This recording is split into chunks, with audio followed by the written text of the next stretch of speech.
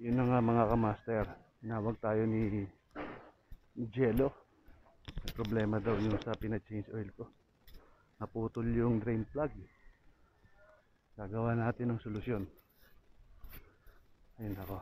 Pagmamalasin ka nga naman mga kamaster. Titingnan natin mga kamaster kung anong pwede natin magawa.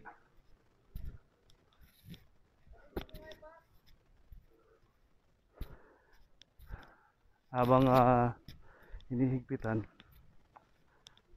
naputol drain plug. Naiwan yung screw sa loob ng ah, oil pan. Ngayon, babaklasin natin ngayon yung ano. Kung magagawa natin ng paraan, kahit hindi na siguro pala bak baklasin yung oil pan. Pero tayo mga master, tingnan natin. Balikan ko kayo. Ano nangyari? Ha? Patingin? Peke. Peke. Original to. Ganito talaga yon. Talagang malambot lang talaga ang drain plug ng ano eh. E36 eh. Okay mga kamaster, ito yung naputol na drain plug. Pro- drain plug. Problema natin to. So maghanap tayo sa auto shop. Baka meron ganitong ano, ah, kahit na hindi siya ganito ka eksaktong tornilyo niya. Kahit solid na tornilyo basta fit doon sa butas. Siguro pwede na 'yon. Bahala. Oh, i-video mo nga, tingnan mo nga kung anong itsura dyan sa loob. Hindi na, okay na. Ito yung mga kamaster yung ano, yung drain plug na naputol. Yun yung kalahati niya na iwan.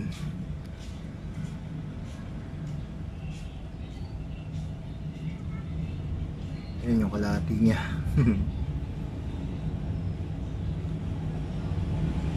Tingnan natin kung paano natin tatanggalin yan. Gawa natin ang paraan.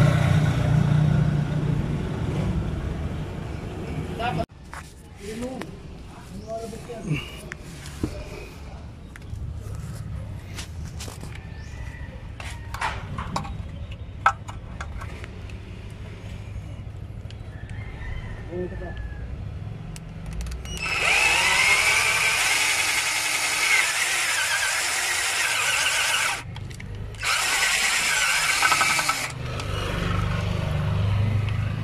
ba mga master?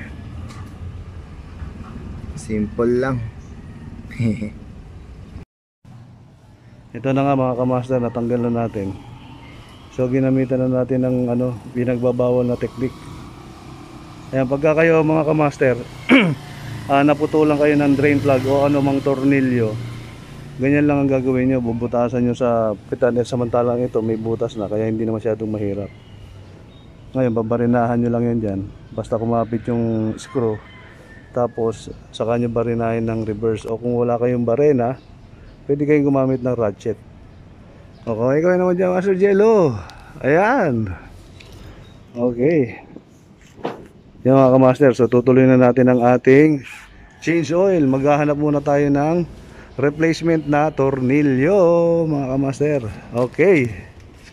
Balikan ko kayo mga kamaster ha. Yan nga mga kamaster, nakabili na tayo ng ah, original din na drain plug. So ikakabit na natin 'to mga kamaster. Para ah, okay na. Yan nga mga kamaster. Na lagay na natin no. Ngayon ang ginagamit ko rito pag nagchi-change oil ako, mga kamaster. Ang nilalagay ko rito ang oil lang ginagamit ko ito. Yung sink subukan na to eh. Fully synthetic. So, yan ang ginagamit natin para dito. So, matutuloy na yung ating uh, change oil. Okay. Ayun mga kamaster. Ah, i-change oil na natin.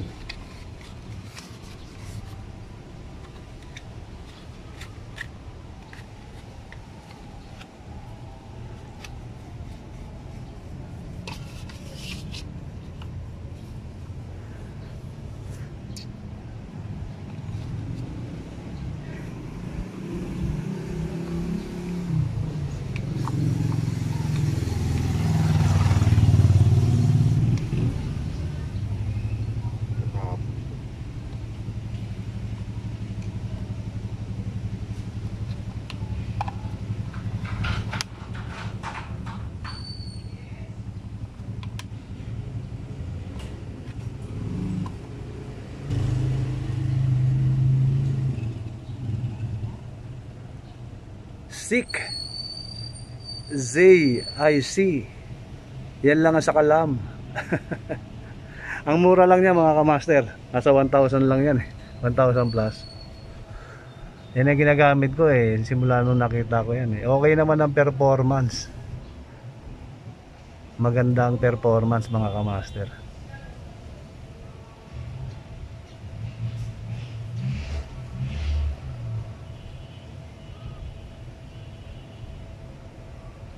Tapos tirahan mo ng ano, at least 1 fourth.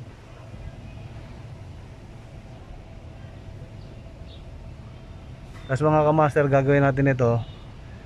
ah i-reset natin yung kanyang ano, bar. Tuturo ko rin sa inyo kung paano mag-reset ng bar. Nang hindi na gumagamit pa ng ah, ah, kung ano-ano pang scanner. Tansyahin mo na lang.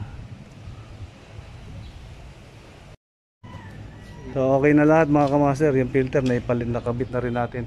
Hindi na natin nakita sa video. Importante, change oil na tayo. Change oil, done! Okay mga kamaster. Balikan ko kayo ha, pa-starting ko lang. Yan mga kamaster, i-reset natin yung kanyang bar. Ewan ko lang kung makikita rito kasi medyo malabo yung ilaw nito eh. Ayan mga kamaster. Oh. Ah, nasa ano na yan, 2 bar, yan, 2 bar. Tapos magiging ano na yan, makukumpleto na yan. Ayan, tapos papakita ko lang dito ah. Kasi ito na mga kamaster. Ito na yung ano natin. Jumper. Ayan.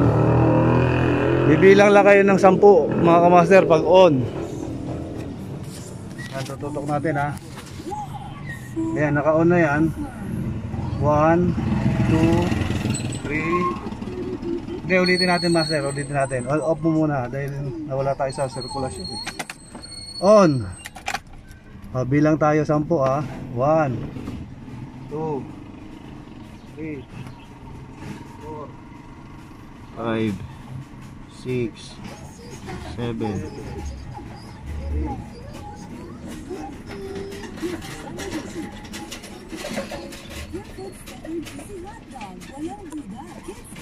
Ayan mga kamaster, magic. Okay, full bar na siya ulit. Ganun lang mga kamaster ha. Nakita nyo ba yung ginawa ko? Natutunan nyo ba? O kung hindi, ganito gagawin nyo ha. Pag nakasalpak siyang ganyan, bibilang ka na 10. Pagkabilang mo ng 10, bubunutin mo na agad. Ganun lang. Okay mga kamaster. Ayos, o start natin, testing natin ha. Testingin natin.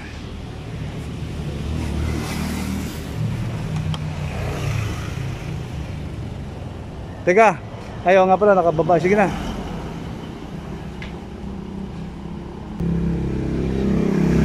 Sige, testing, testing, eh, start.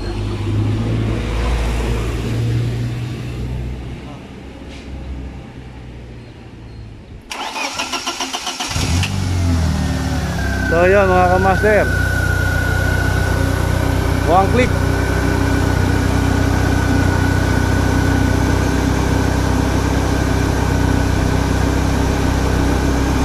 Okay, ganyan lang mag-change oil mga kamaster.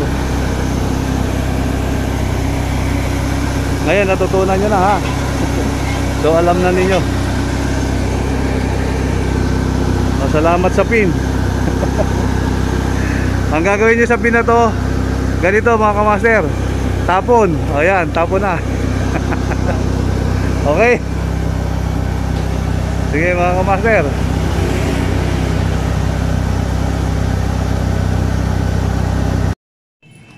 Mga kamaster Ipa-final natin. Okay na, yung bar natin na-reset na. Ngayon, start natin mga kamaster Yon, one click mga kamaster Ayos, approve At yan nga mga kamaster Diyan tayo nagtatapos sa ating uh, change oil and uh, reset ng ating uh, bar So Okay, medyo marumi tayo mga kamaster. Pero okay lang, sulit. Sana may natutunan kayo mga kamaster sa aking uh, isinier sa inyo ha. Sana huwag kayo magsawang ah, sumubaybay sa aking ah, YouTube channel. Master Yob and Master Chang, Jack of all trade, Master of none. Alright, Master, bye-bye!